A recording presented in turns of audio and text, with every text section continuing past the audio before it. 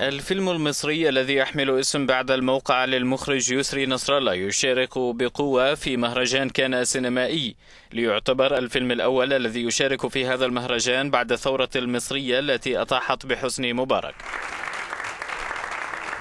ويركز الفيلم الجديد على البشر وكيف يواجهون الأحداث الكبيرة ويعرض الذين لا يرغبون في أن يسحقهم التاريخ حسب المخرج نصر الله.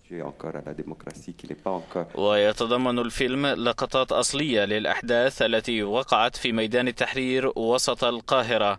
وتدور أحداث الفيلم حول رجل يحاول استعادة كرامته ونساء يحاولن العثور على مكان في المجتمع الذي تغير.